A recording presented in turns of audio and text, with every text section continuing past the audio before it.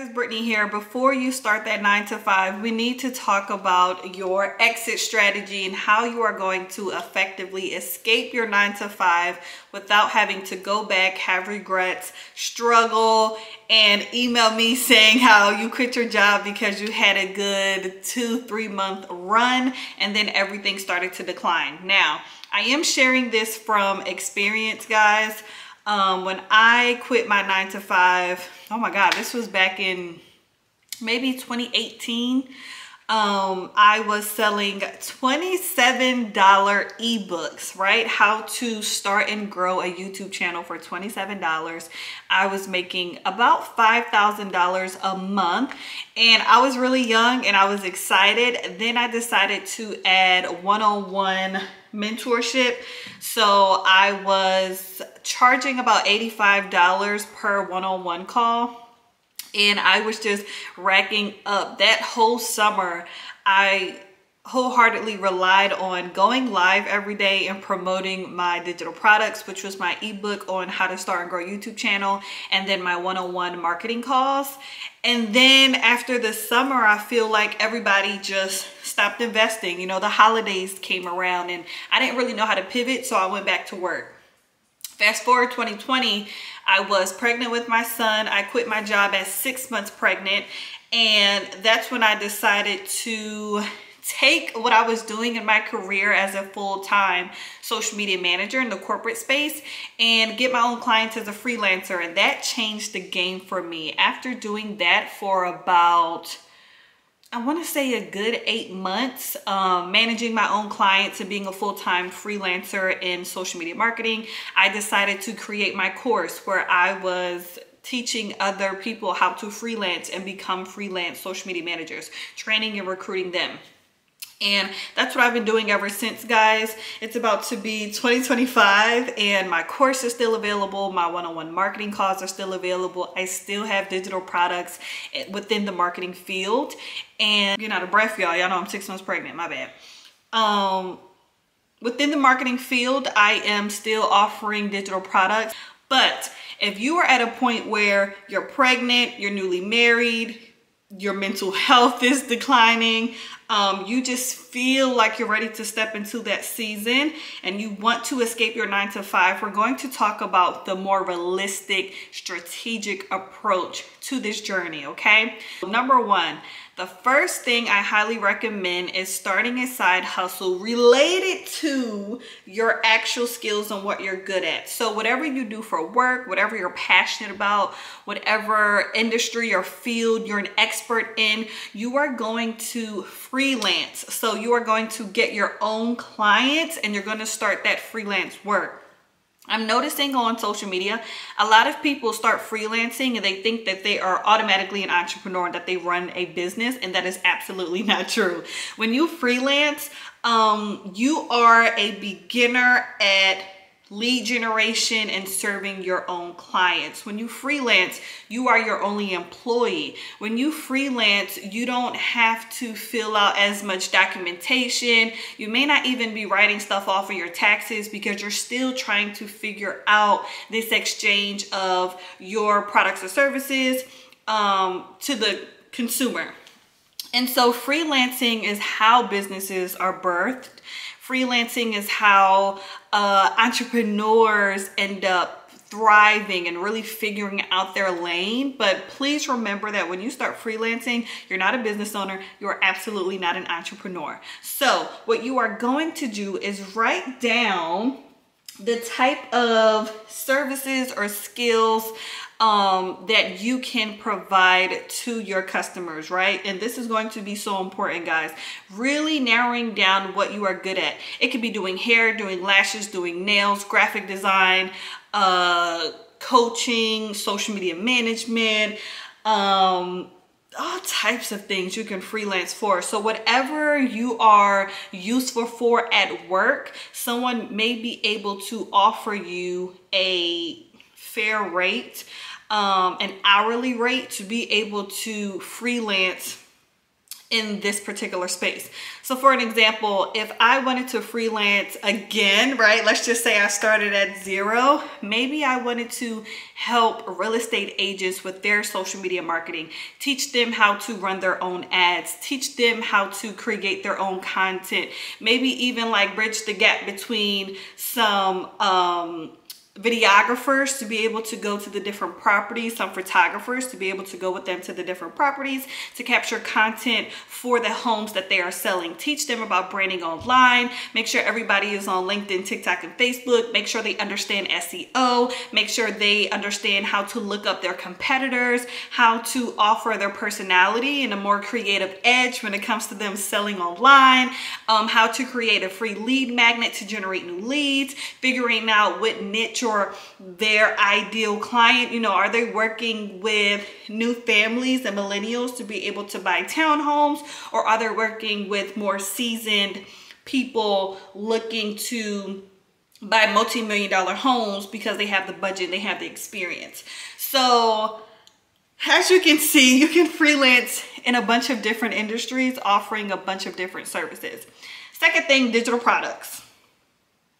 This one is so important if you want to take back more of your time and you want to rely on social media to be able to make sales. Um, digital product changed the game for me when I was pregnant, guys. You guys know I had preeclampsia. I was on bed rest. I had an emergency C-section. It was a lot when it came to my first pregnancy. And so my digital products, which were my actual ebooks and my course, really saved me and sustained me during that time. When I didn't have the energy or the capability to show up, um, my digital products did the work for me. And all I had to do is promote, promote, promote. Um, but when you are creating digital products, stay off of ChatGPT. Try not to buy other people's digital products to resell. Make sure it's authentic. With my brand, people understand that I do this for real. I love to teach. I've been in the industry for eight plus years. I know what I'm talking about. I have the testimonials and um, the case studies to back it up. And so if you want people to come back again and again and again, you want to make sure your digital products are meaty, they're valuable, you're oversharing, you're giving very personal examples. So they understand that this was written by you, this was created by you, and you know exactly what you're talking about. That way in the future, when you launch something that may be a little more expensive, maybe even a membership, um, which is another great business model, by the way, um, they trust you because they bought your 10, 15, 20, 30, 40 dollar ebook. Now when you drop a course, they know it's going to be even better. Now when you host a live event, they know it's going to be impactful. So make sure you have a sense of pride um, about your digital products because that's something that we are losing in the industry right now, especially in the marketing industry because everybody wants to resell done for you products. And I just don't agree with this business model at all. Number two, and there's two different points to this that I want to touch on and it's so important. Before you escape your nine to five, you absolutely have to invest in self-development. Guys, this is what's going to sustain you during those tough times and tough seasons when you're telling your family and friends that you are exiting your nine to five security, that consistent paycheck, those good benefits, when you're deciding to pivot, self-development is what's going to prove it's going to separate the freelancers from the bosses. It's going to separate someone who's just hustling on the internet compared to someone building an, an actual business. Self-development is the one thing, the one difference between me and a lot of other YouTubers. Not to toot my own horn. So what does that look like? Acquiring new skills. When you quit your nine to five, you need to be able to do a bunch of different things, right? Now you become your own uh, video editor, your own graphic designer, your own social media manager, your own PR. Now you are in charge of your brand and your business You are your bread and butter. When you're hustling to wake up every day and make money, you need a, a strategic plan. And the first thing you have to have is self motivation and belief in your damn self. Nobody is slacking you to make sure you're online. Nobody is paying you at the end of this week. Nobody is holding your work ethic accountable. You're not meeting with anyone. You are 100% in charge of your own income by your daily habits. You need to be reading more books. You need to be uh, listening to more podcasts. You need to be organized. You still need to wake up early or even stay up late. You need to be good at time management. You need to be locked in with your business. And everywhere you go, you should be a walking billboard. When you are in charge or responsible for your own sales, guys it gets scary okay? So um, first thing you need to do is acquire new skills whether that's project management personal finance um, marketing, promotion, social media. I mean, whatever you need to do to become better in your business or whatever products or services that you are providing, you need to do it. Maybe you own a t-shirt line and you're noticing that the cost for production is starting to become a lot. You may need to end up buying that printer and printing out your own shirts you may need to learn about your different options when it comes to shipping orders so you can keep more money in your pocket. I mean, it's going to take a lot of self-development. Second thing is building that personal brand. So when you escape your nine to five, I always recommend taking your followers along with you. We all know that the number one way to gain more sales is through social media. So making sure that you are getting better at uh, promoting yourself and branding yourself, aligning with your business. Mia Ray is very good at this. She is the boss of Glamaholic Lifestyle. Um, Pinky Cole is very good at this. she is the owner of Slutty Vegan. Um, I'm trying to think. Milano is very good at this. Milano is the owner of Milano Di Rouge. These are some bosses that you want to follow. Which brings me to my third point to network and build connections. In order to make a sale, people have to know what you have to offer. In order for you to stay motivated, you need to be around other bosses and people in the same season as you or people who are already where you want to be. Your friends are not going to help you get to the next level. Your family members are not going to help you get to the next level, especially if they're locked in in the corporate world, especially if they are chasing or working hard towards climbing the corporate ladder, especially if they don't understand why you have two degrees, but you still want to go and be a full-time influencer or content creator or, or business owner, right? Nobody is going to understand the vision but you. This is why you also need to work on discernment when it comes to sharing your why um, and what you're doing. Sometimes you just need to let your family watch from the sidelines. You may need to allow your friends to just question why the hell you're doing this in the first place. It doesn't matter. The Lord gives you an assignment. The Lord makes you uncomfortable and the Lord gives you a vision. It's not up to anybody but yourself to make it happen. And when you fail, you can't blame anybody but yourself. That's why I say you shouldn't be sharing so much with your family and friends because the I told you so's is irrelevant it's irrelevant.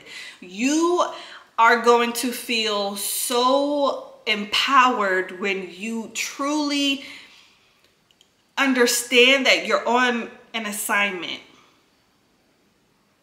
for an example, I've quit my job multiple times and then went back to the corporate space. And every time I went back to the corporate space, I felt like I had more leverage. I felt like I could walk into these interviews and, I, and I'm not like, oh, I need this job. I need this paycheck. I need these benefits. No. This position I treat my jobs like a like another client. Why? Because I stay in the same industry that I'm freelancing in. I stay in the same industry that I'm building my own business in. My jobs, I always treat like a second client. They're paying me for a service that I provide anyway, whether I'm working for a corporate company or I'm freelancing Either way, I'm a full-time social media manager.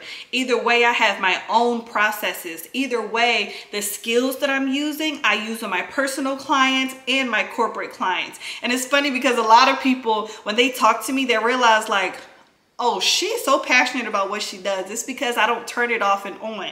I don't go to work and become an employee and then come home and become a boss. I'm a boss as soon as I wake up certain things I'm not willing to negotiate, right? So creating my own schedule, working remotely, only having a certain amount of clients, making sure that I'm still able to show up and be present for my son and my husband. I mean, when you truly gain the skills you need, it will help you in your nine to five career. That's why I say personal development, personal branding, um, and building those skills truly help you because if you decide to go back to work because life happens guys you may even decide you want to go back to work for one year just so you can go and get your next house or go and invest in your next real estate investment which I've done twice.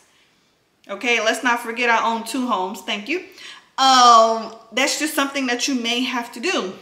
But when you are continuing to develop your skills and your brand that is going to help you and set you apart from people in the industry and from other entrepreneurs. Okay, so joining communities and finding a mentor are my top two tips when it comes to building connections and your network. So here in Atlanta, I attend basically everything and everywhere I go, people understand that I'm the social media manager to go to. Marketing by Monray, Nehemiah Davis, Milano, they have all reached out to me needing a social media manager.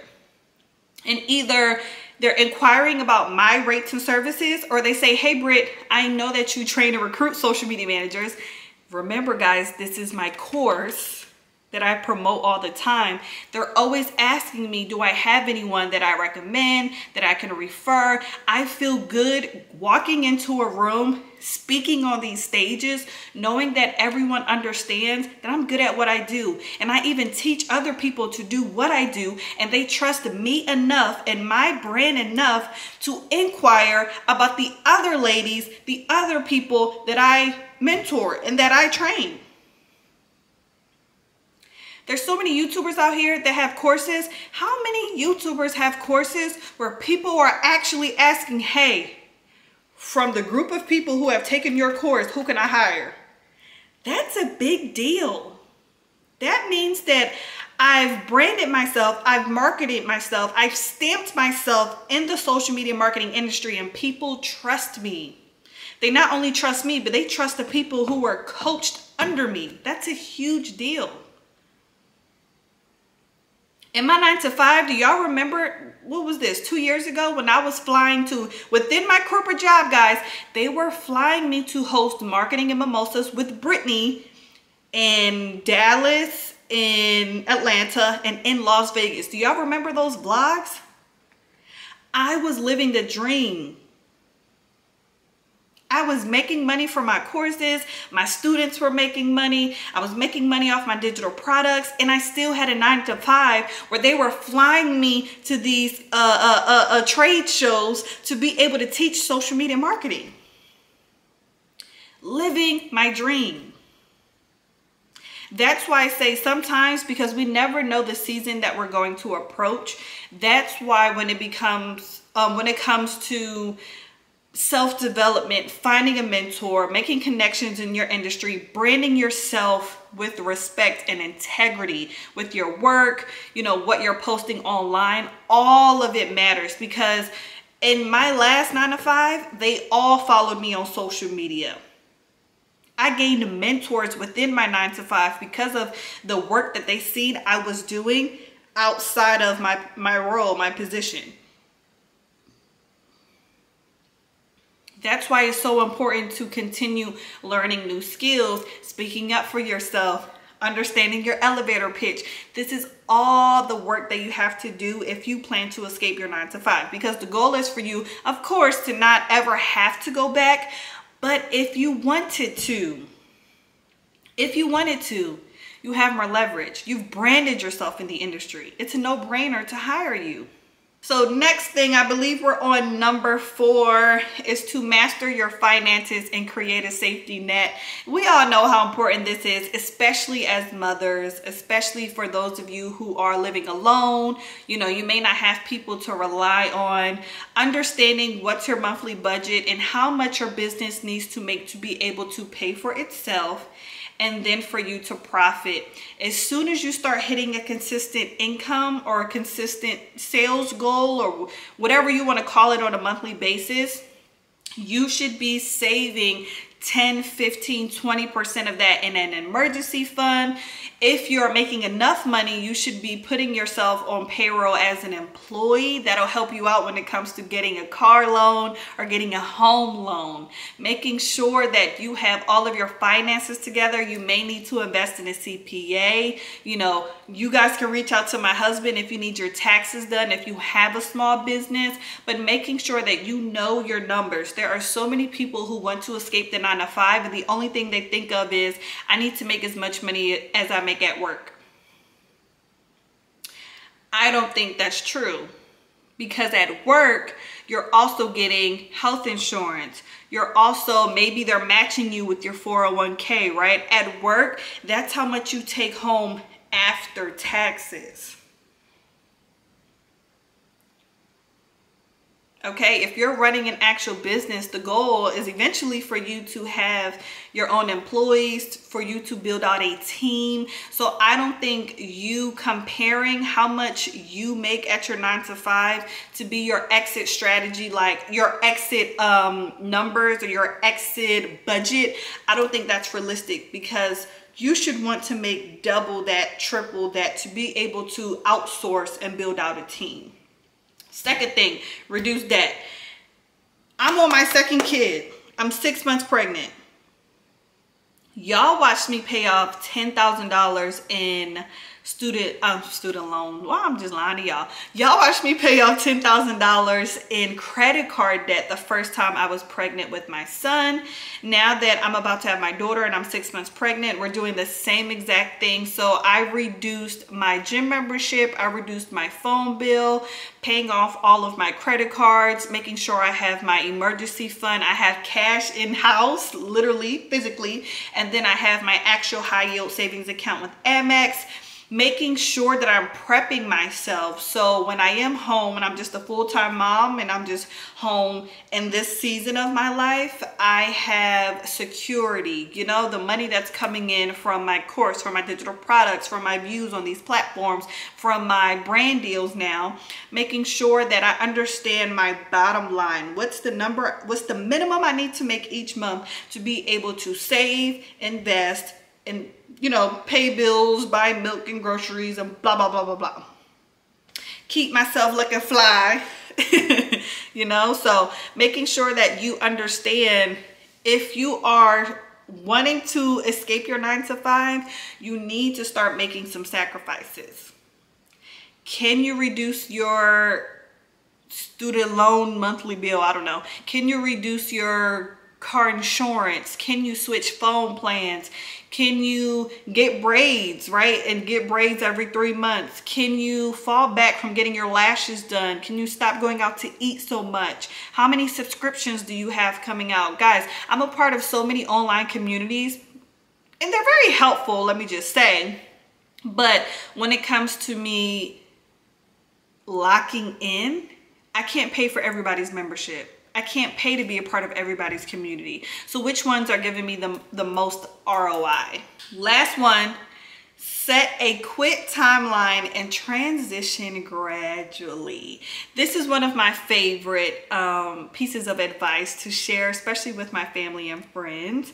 Making sure that you have established clear goals on how much you need to make a month and for how long for you to be able to peacefully, calmly, responsibly exit your nine to five, but also what does that gradual shift look like? So um, as your side hustle income increases and you start to gain more clients, um, what does that transition out look like? Because for some of us, you may be able to, and this is what I'm doing now, you may be able to freelance full time, have a remote job full time that isn't so demanding, meaning you're remote, you don't have a lot of meetings, you're not micromanaged, you don't have too much responsibility, you're able to multitask and do both, and you can be milking your nine to five check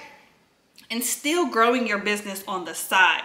So sometimes when I talk to my friends, their biggest thing is like, oh, I don't want to work for anybody. I don't want to work for anybody. But is it the fact that you don't want to work anybody or you just haven't found the perfect sweet spot in the corporate space for you to still be able to execute and thrive in what you're good at, be a part of a team, still being able to travel, still being able to feel like you're in charge of your time, still being able to serve clients, but you're not micromanaged and you're not extremely stressed and, and your stress levels aren't so high.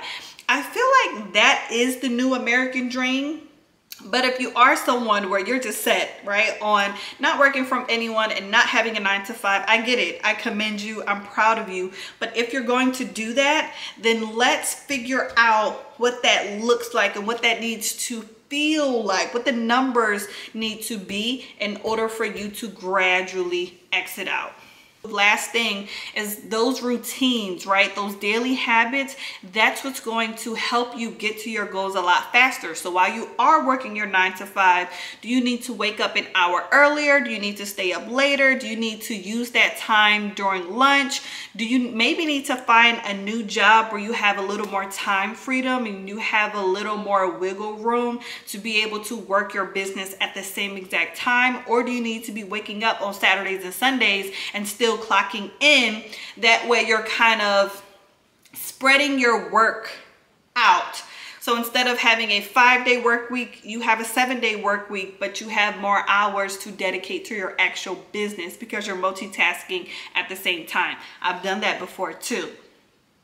So I hope this video helps. Um, that is definitely my advice if for 2025 you want to exit your nine to five take it from me. Um, I'm so proud of you. If you're watching this video, I think you're already on the right track and feel free to comment below and let me know if you've ever tried these strategies before. How do you feel after watching this video and what's the plan? Good luck guys and I'll talk to you soon.